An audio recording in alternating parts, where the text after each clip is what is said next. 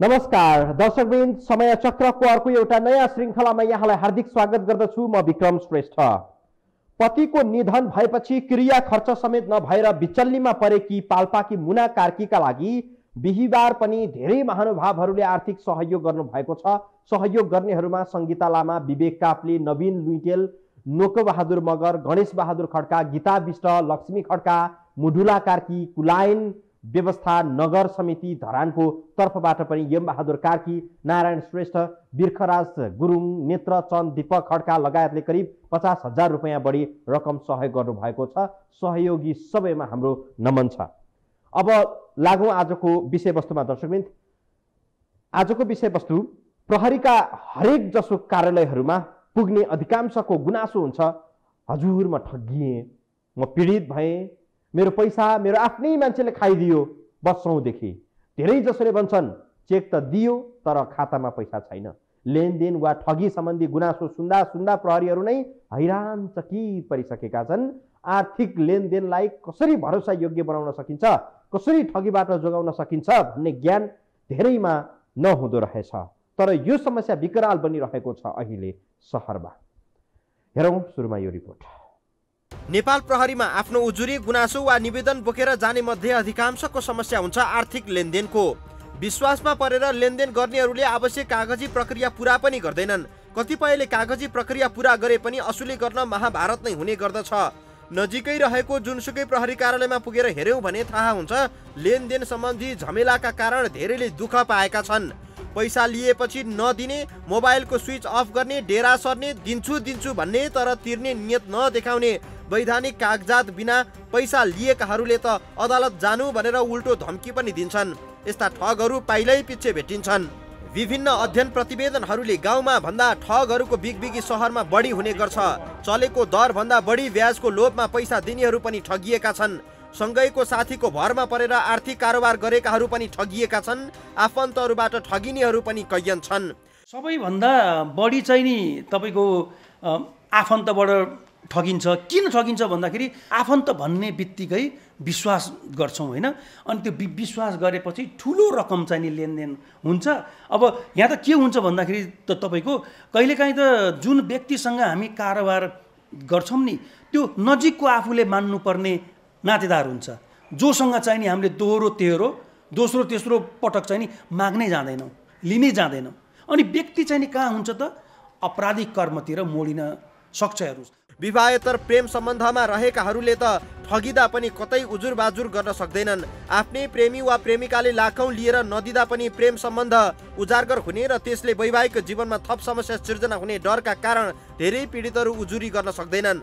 छिमेकमा बसेको मान्छे जागिर लगाइदिने मान्छे बढी ब्याज दिने मान्छे विश्वासिलो मान्छे आफन्त आदि भनेर पैसा दिनेहरू धेरै फसेका छन्। खातामा पैसा नभएको चेक दिएर मान्छे ठग्न हिँडेकाहरू कतिपय चाहिँ आफै जेल पुगेका पनि छन्। वैधानिक रूपमा कागज गरेर पैसा दिँदा पनि धेरैको पैसा उठ्दैन। पैसा उठाउन कुटपिट नै गर्न पछि नपर्नेहरू धेरैले पैसा उठाएका पनि छन्। कुटपिटमा परिने डरले खाएको तिर्ने केही हुन्छन् तर अधिकांश मानिसहरू आफै कुटपिटमा उत्रिँदैनन्। वैधानिक रूपमा कानुनी बाटो समाउँदा अदालतबाट फैसला हुन वर्षौँ लाग्छ। मुद्दा फैसला भएपछि पैसा खानेको चल अचल सम्पत्तिबाट अदालतले लिएको रकम भराइ पनि दिन्छ। सम्पत्ति नहुँदा रकम लिनेलाई जेल राखेर हिसाब पुरा गर्नुपर्ने हुन्छ। जेल राख्दाको सिधा बापतको रकम पीडितले नै दिनुपर्छ। रकम लिने व्यक्तिसँग तिर्नुपर्ने रकम बराबरको सम्पत्ति नहुँदा कानुनले भराइदिए पनि व्यवहारमा केही पाउन सक्दैनन्। अब ठगीको त जेल जेलमा बसिसकेपछि त उसले त बाहिर आउँछ। त्यसपछि तपाईँको बाहिर आइसकेपछि तपाईँको पैसा त तपाईँ त फिर्ता त पाउनु भएन तपाईँले। फेरि यदि तपाईँले ठगीको पैसा यदि तपाईँको ठगीको जेलमा बस्यो जेलमा बसिसकेपछि अब यदि अब कारोबारको अवस्थामा जानुहुन्छ भने तपाईँले अब लेनदेनको व्यवहारमा तपाईँले कसैले पैसा दिएर भने तपाईँले उजुर दिनुहुन्छ। उजुर दिइसकेपछि उजुरको अवस्थामा के भने यदि तपाईँले उजुर दिनुभयो तपाईँको लेनदेनमा चाहिँ ठहर्यो तपाईँले फिर्ता पाउनुहुन्छ भने पनि त्यो अवस्थामा चाहिँ के भने उसले फिर्ता दिएन भने उसलाई त हाल्ने भने राख्ने भनेको जेलमै हो। जेलमा राख्दाखेरि प्रतिदिन तपाईँको उल्टो उसलाई चाहिँ खाना खाना खर्च भराएर मात्रै तपाईँले जेल हाल्नु पाउनु सक्नुहुन्छ। कपाल काटेर जीवन चलाउने रौतहटका भूषण ठाकुर कुमार लामाबाट ठगिए करोडौँ रुपियाँ बराबरको मुद्दा जिते पनि रमिला कार्कीको अवस्था अहिले पनि उस्तै छ। म धेरै गरिब मान्छे सर मेरो घरमा केही छैन। मेरो बुवाले मलाई गाली गर्छ मेरो आमाले गाली गर्छ। म एउटा कपाल काट्ने मान्छे तिनजना बच्चा छ मेरो। म धेरै गरिब मान्छे सर उसलाई फोन गऱ्यो भने फोनै उठाउँदैन कहिले फोन उठाउँछ कहिले उठाउँदैन अनि एउटा कपाल काटेर बाँचिरहेको छु सर म यस्तो भइसक्यो रोग लागिसक्यो सर मलाई घरको सबैले टर्चर दिन्छ मलाई मेरो बुवा मेरो आमा गाउँमा मलाई मान्छेहरू ठिक. यो सल्लाह ठग्छ भन्छ मलाई यी सबै ठगिनुको एउटै कारण थियो विश्वास। धेरै विश्वास केही लोभका कारण धेरै मानिसहरू ठगहरूको फेलापा परेका छन्। विज्ञहरू भन्छन् आर्थिक कारोबार गर्दा विधि सम्मत गर्ने सबै हिसाबले जाँचबुझ गरेर मात्रै लेनदेनको कारोबार गर्ने तर नेपालीहरू भावनामा बढी बहकिने गर्छन्। अरूको दुःखमा आफू दुखी हुन्छन् अरूलाई पर्दा सहयोग गर्न तत्पर पनि हुन्छन्। कमलो मन भएकाहरूलाई नै ठगहरूले आफ्नो पहिलो निशाना बनाउने गरेका छन्। सहर बजारमा मिटर ब्याजमा पैसा दिने अनि फिर्ता नगर्नेहरूलाई आफैले तह लगाउने गिरोह पनि छ। गुन्डागर्दीमा हात लागेकाहरूले यस्तो जोखिम उठाउने गरेका छन्। यस्तो धन्दा गर्छन् र यस्तो धन्दामा जघन्य अपराध हुन सक्ने सम्भावना पनि बढेको छ। जसो गर्दा पनि पैसा उठ्ने नदेखिएपछि कतिपय मानिसहरू ठुले गुन्डाहरू कहाँ पुग्छन् र यस्तै यस्तै कारणहरूले गुन्डागर्दी पनि फस्टाइरहेको छ। थप प्रसङ्ग हामी जोड्छौँ ब्रेकपछि।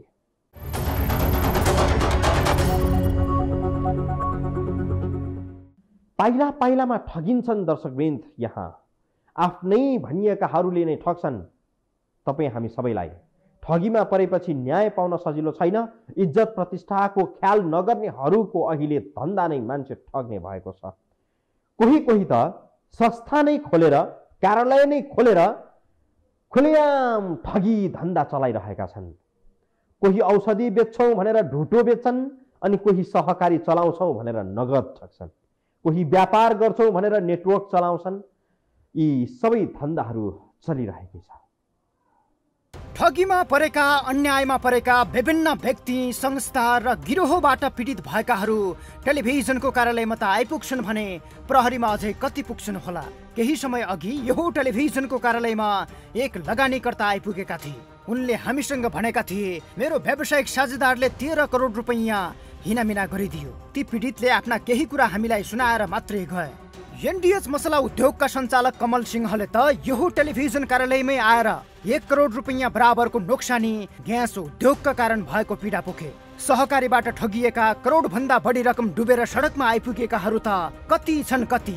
विभिन्न देश पुर्याइदिन्छौँ भनेर पैसा लिने अनि फरार हुनेहरू पनि धेरै छन्। केही समय अघि युरोपका देशहरू लैजाने भनेर धेरैका पैसाहरू लिएर फरार भएका एक व्यक्तिका विषयमा समय चक्र नै तयार भयो।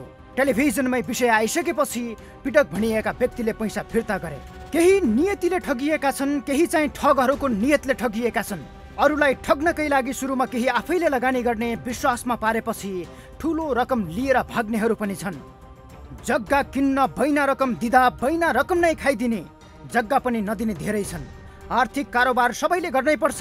जोगिएर आफ्नो रकमको सुरक्षा हुने गरी आर्थिक कारोबार गर्ने निश्चित विधि र प्रक्रिया हुन्छ। यस्तो विधि र प्रक्रिया धेरैले बुझ्दैनन्। बुझेकाहरूले पनि विश्वासमा परेर पैसा दिन्छन्। त्यसपछि हैरानीका दिनहरू सुरु हुन्छन्। यो हुनै नदिन के गर्ने त? कारोबार गर्दा अलिकता रिपोर्टेड मान्छेहरूसँग गर्नु रिपोर्टेड संस्थाहरूसँग गर्नुहोस्। अब कम्तीमा तपाईँ त्यसैले त प्रतिस्पर्धा छ नि अहिले अहिले प्रतिस्पर्धाको जमानामा तपाईँ सबै कुरा बुझेर हेरेर सम्झेर सबै कुरा गरेर अर्काको भरमा र अर्काको प्रभावमा अर्काको प्रलोभनमा परेर चाहिँ काम नगरोस् कम्तीमा उसले उसले त तपाईँको कानुनले पनि तपाईँको उसको उसको घर घरानाबाट असुल गर्न सकोस्। त्यस्तो अवस्था हुनुपर्छ। समाजमा हुने अपराधहरू मध्ये सबैभन्दा विकराल समस्या नै ठगी सम्बन्धी बनेको छ। ठगी अनेक प्रकारले हुन्छन्। अरू ठगिएका खबरहरू पटक पटक सुनेकाहरू स्वयं पनि ठगीमा पर्छन्। पेसेभर ठगहरूले त प्रमाण छाड्दैनन् जस्तो कि अहिले कुमार लामा भन्ने यी पात्रले प्रमाण छाडेर ठगेका कारण जेल परे। प्रमाण जोगाउन सक्दा केहीलाई ठगेर पनि हक्का हक्की भनिरहेका छन् अदालतमा फेस गर्छु। ठगहरूको गिरोहले मान्छे झुक्क्याउने सञ्जाल पनि बनाउँछ। डलर साट्ने भनेर मान्छे जालमा पार्नेहरूले केही डलर चारोका रूपमा खर्च गर्छन्। डलर भेट्याउने गोठालो वा भरिएका रूपमा अर्को व्यक्ति तयार गर्छन्। आकर्षक ब्याज दिन्छु भनेर जग्गा नै दृष्टिबन्धक राख्न तयार हुनेहरूले खोलाले भगाइसकेको सडकमा परेर सकिसकेको जग्गाको लाल पूर्जा मात्रै राखिदिने गर्छन्। जब मान्छे एकपटक ठगिन्छ त्यसपछि ठगिएको व्यक्तिसँग कानुनी उपचारमा जाने विकल्प त हुन्छ तर त्यो विधिबाट पैसा उठ्ने ग्यारेन्टी हुँदैन। त्यही भएर कानुनको अभ्यास गर्नेहरू नै भन्छन् एकपटक ठगिएपछि सकियो पैसा फिर्ता आउने सम्भावना विरलै हुन्छ। यसकारण आर्थिक कारोबार हो पहिले नै सोचेर गर्नुहोस्। कानुन त पछिको कुरा होइन? पहिला त एक्ट हुन्छ नि त। पहिला अपराध हुन्छ अपराध भइसकेपछि नै तपाईँको कानुन आकर्षित हुने हो नि। अपराध हुनुभन्दा पहिला होइन? अपराध हुनुपर्ने कारणलाई पन्छाउनको लागि सबैभन्दा ठुलो कुरो चाहिँ नि पीडक हुने व्यक्ति चाहिँ नि आफू सचेत हुन जरुरी छ। लेनदेन हुन्छ होइन? आर्थिक लेनदेन चाहिँ नि भइसकेपछि जो पीडक हो त्यही पीडकले हातले दियो खुट्टाले चाहिँ नि दुःख पाउँछ होइन? त्यसले गर्दा सबैभन्दा पहिला जोसँग मैले आर्थिक कारोबार गर्दैछु त्यो व्यक्तिको आर्थिक स्टेटस के हो त्यो चाहिँ नि बुझ्न जरुरी छ कि? ठगीबाट जोगिने एक मात्रै सरल उपाय भनेको सितिमिति कसैलाई विश्वास नगर्ने र अस्वाभाविक लालचमा नफस्ने हो। यो हो टेलिभिजनको कार्यालयसम्म पनि धेरै महानुभावहरू आउनु भएको छ र हामीलाई यो किसिमको गुनासो गर्नु भएको छ। यस्ता धेरै समस्या लिएर आउनेहरूको विषय हामी प्राथमिकतामा राखेर प्रसारण गरिरहेका छौँ नै। समस्या के मात्रै हो भने एक व्यक्ति ठगिएको देखेपछि अरू सावधान हुनुपर्ने हो। सावधान हुने चलन निकै कम देखिन्छ। यही कारण समस्या बढ्दो क्रममा छ। हामी आउँछौँ ब्रेकपछि।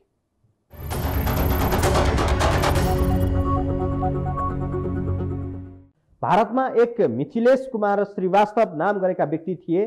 उसको उपनाम थियो नटवरलाल।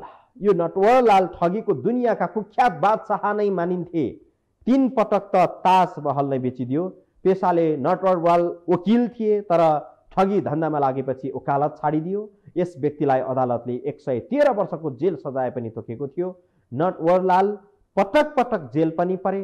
आठ पटक त जेलबाट भाग्न पनि सफल भए ठुला व्यक्तिहरूको हुलिया बनाएर मान्छे ठग्ने कृत्य दस्तखत गर्ने आफूलाई समाजसेवीको रूपमा प्रस्तुत गर्ने नटवरलालका धेरै चेलाहरू अहिले नेपालमा सक्रिय देखिएका छन्। हेरौँ यो रिपोर्ट। सम्पत्ति कमाउन मात्रै होइन कमाएको सम्पत्ति संरक्षण गर्न पनि गाह्रो हुन्छ। तपाईँ एकपटक मात्रै ठगको फेला पर्नु भयो भने सम्झिनुहोस् त्यो पैसा लगभग गयो। ठगहरूलाई तह लगाउने कानुन नबनेको पनि होइन। प्रहरी अड्डा अदालत पनि नभएका होइनन् तर कानुनी प्रक्रिया यति झन्झटिलो हुन्छ कि त्यसका लागि हैरान गर्नुभन्दा दिएको सम्पत्ति माया मार्नु ठिक हो भन्ने अवस्था सृजना हुन्छ। ठगहरूले नियोजित रूपमा गर्ने अवस्था भएको हुनाले त्यस्तामा प्रमाणहरू हुँदैन। र प्रमाण बनाए पनि त्यस्ता प्रमाणहरू चाहिँ फर्जी टाइपका हुन्छ गलत गलत व्यवहारका जो चाहिँ कानुन कानुनले एक्सेप्ट नगर्ने कानुनले स्वीकार नगर्ने खालका बढ्छन् वकिलहरूका वकिलहरू ऊ फलानु वकिल साहब हो भनेर वकिल साहब पनि डुप्लिकेट बनाइदिन्छन् उनीहरूले। त्यस्तो अवस्था हुन्छ र आफू पनि तपाईँको यो एउटा छद्म बेसी बन्ने अवस्था हुन्छ। आपसी लेनदेन गर्दा पनि केही मौखिक बाचाको भरमा कारोबार गर्ने चलन छ। तर कानुनका जानकारहरू भन्छन् आर्थिक कारोबार भुलेर पनि मौखिक आधारमा गर्नु हुँदैन। पचास हजारभन्दा बढीको कारोबार गर्नेले सम्बन्धित वाडा कार्यालयमा गएर लिखित प्रमाणित गर्नुपर्छ। त्यस्तो लिखित दर्ता गर्नुपर्ने हुन्छ। कानुनी व्यवसायी वा लेखापढी व्यवसायीहरूबाटै लिखित तयार गर्नुपर्छ। यस्तो लिखित तयार गर्दा दुई चार सय खर्च हुन सक्छ। त्यस्तो पैसा जोगाउन मौखिक रूपमा कारोबार गर्नु हुँदैन। तपाईँले आर्थिक कुराहरू चाहिँ गर्दाखेरि कम्तीमा सम्बन्धित निकायमा जाने सम्बन्धित क्षेत्रका जानकारहरूसँग जाने र राम्रोसँग लिखत गरेर प्रमाण जुटाएर अनि मात्रै गर्ने र ऊ को भनेर चिन्ने त्यो लिखत गर्ने मान्छे हो, त्यो जो जोसँग तपाईँ कारोबार गर्नु छ त्यो मान्छे को हो र उस उसलाई मैले चाहिँ कानुनीको दायराभित्र ल्याउन सक्छु सक्दिनँ भन्ने कुरा पहिला सुनिश्चित भइ नभएसम्म तपाईँको आफ्नो पैसा एक रुपियाँ पनि न फेर दिनु हुँदैन। पैसा मात्र होइन आफ्नो नागरिकता पनि व्यक्तिले अपरिचित व्यक्तिलाई वा पुरै विश्वास गर्न नसकिनेलाई दिनु हुँदैन। केही धूर्तहरूले पछिल्लो समय दूर दराजमा बस्ने सोझा गरिब किसान मजदुरको नागरिकता लिने उसकै नाममा कम्पनी खोल्ने कारोबार गर्ने अनि सरकारलाई तिर्ने पर्ने करोडौँ रुपियाँ कर बाँकी राखेर आफू भाग्ने गर्दै आएका छन्। नागरिकता मात्रै दिँदा पनि ठगहरूले यो काम गरिदिन्छन्। यस्तो धन्दामा कर छल्नेहरूलाई पक्राउ गर्ने आधार हुँदैन। कर छलेको व्यक्ति कानुनी रूपमा मात्रै दोषी हुन्छ। व्यावहारिक रूपमा अर्कै दोषी हुन्छ। अपराध गर्ने एउटा भए पनि जेल जाने अर्कै हुन्छ। कानुनी प्रक्रिया पुरा गरेर पनि ठगलाई पैसा दिन पुग्यो भने त्यो पैसा डुब्ने निश्चित जस्तै हुन्छ। सरकारी संस्था ठग्नेलाई दस वर्ष र व्यक्ति ठग्नेलाई सात वर्षसम्म कैदको व्यवस्था कानुनमा छ। तर यो कानुन कार्यान्वयन गराउन निकै चर्को छ। ठगीको मुद्दा भन्थ्यो होइन? यो तपाईँको बहत्तर पछि जब फौजदारी संहिता आयो नि आपराधिक अ, लाभ र एक्सटर्सनको रूपमा हामीले ठगीको मुद्दालाई लिएर गयौँ। नाम त नयाँ नयाँ आएको छ होइन? तर सजायको बन्दोबस्ती पनि होइन? सजायका दफाहरू पनि सोही चाहिँ नि अनुसार चाहिँ नि कडा बन्दै गए भने बल्ल चाहिँ नि अपराध गर्ने व्यक्ति पनि अलिकति हतोत्साहित चाहिँ हुने चाहिँ नि अवस्था रहन्छ होइन? त त्यो पनि छैन। व्यक्ति व्यक्ति बीचको लेनदेनमा ठगले पैसा फिर्ता गर्न सकेन वा उसको कुनै सम्पत्ति देखिएन भने कारागारमा राख्नुपर्ने हुन्छ। कारागारमा राख्दाको दैनिक सिधा खर्च पीडितले बेहोर्नुपर्छ। एकातिर आफ्नो रकम डुबेको छ अर्कोतिर फेरि पैसा खर्च गरेर कसैलाई जेलमा राखेर कसलाई के फाइदा हुन्छ? ठगीको योजना बनाउनेहरूले आफ्नो भेष परिवर्तन गर्छन् नागरिकता समेत कृत्य बनाउँछन्। कतिपय अवस्थामा वकिलहरू पनि नक्कली खडा गर्छन्। सबै प्रपञ्च मिलाएर नेपाली कागजमा ल्याप्चे नै लगाएर पैसा लिन्छन्। पैसा फिर्ता नभएपछि जाहेरी दिन्छन् प्रहरीले अनुसन्धान गरेपछि खुल्छ। त्यस्तो नाम गरेको व्यक्ति सम्बन्धित जिल्ला सम्बन्धित गाउँ सम्बन्धित वाडामा कहीँ पनि हुँदैन। पीडित व्यक्ति चाहिँ नि सुरक्षित हुन्छ। उसको लगानी चाहिँ नि उसको चाहिँ रकम फिर्ता हुन्छ। जस्तो मलाई लाग्दैन। यो हुनको लागि पनि अझै दायरा चाहिँ नि क्लियर गरिदिनुपर्छ होइन? आपराधिक कार्य चाहिँ नि लेनदेन को रूपमा हुने आपराधिक कार्य होइन यो गरेमा यो हुने भन्ने कुरो स्पष्ट भयो भने यो त त्यही हो कि अङ्गभङ्ग चाहिँ नि भएको छ। तपाईँको कुटपिट भएको छ ज्यान मार्नेतिर चाहिँ नि गयो। भने मुद्दा चाहिँ नि कहाँबाट दर हुन्छ? यसलाई स्पष्ट चाहिँ नि कानुनले नै फौजदारी संहितामा अहिले भएको व्यवस्थालाई पनि अझ स्पष्ट चाहिँ नि पारिदिने हो। र कडा पाउ के अरे प्रावधान ल्याएर यो मुद्दालाई सम्बोधन गर्ने हो भने ठगीको मुद्दाहरू कम हुन्छ। यस्तो अवस्थामा कसरी न्याय पाउने कसरी आफ्नो पैसा फिर्ता लिने? यसकारण कारोबार गर्ने व्यक्तिको पहिचान नभएसम्म एक रुपियाँको पनि कारोबार गर्नु हुँदैन। पछिल्लो समय भारतबाट भाइबरमा हिन्दी भाषा बोल्नेहरूले तपाईँलाई पचास लाखको चिट्ठा पर्यो त्यो चिट्ठा लिन पचास हजार जम्मा गर्नु भन्दै कल गर्छन्। पचास लाखको लालचमा पचास हजार जम्मा गर्न मानिसहरू बैङ्कहरूमा पुग्छन्। पैसा जम्मा भइसकेपछि भाइबरमा कल गर्ने व्यक्ति बेपत्ता हुन्छ। मुद्दा मामिला खेपिरहेको व्यक्तिलाई ठगहरूले न्यायाधीशलाई घुस खुवाएपछि मुद्दा जितिन्छ भनेर घुस खुवाउने नाममा पैसा लिन्छन्। लोकसेवामा नाम निकालिदिने प्रहरी सेनामा जागिर लगाइदिने भनेर ठग्ने पनि धेरै प्रहरी फन्दामा परेका छन्। ताजमहल किन्न हिँडेकाहरू नटवरलालबाट ठगिएका थिए। कुनै दिन धरहरा घन्टा घर बेच्ने ठगहरू हाम्रो समाजमा पनि नदेखिएलान् भन्न सकिन्न दर्शकबिन एउटाको जग्गा अर्कोले बेच्ने घटना त कति भए कति। कदाचित कुनै दिन कुनै व्यक्ति धरहरा किनेका कारण ठगिए हजुर भन्दै प्रहरी कहाँ पुग्यो भने के होला?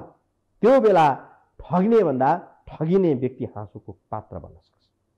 लालच दुःखको घर हो कम्तीमा लालच त्याग्ने हो भने धेरै प्रकारको ठगीबाट बच्न सकिन्छ। आजलाई यति नै समय चक्र दर्शकबिन बिदा दिनुहोस्। नमस्कार।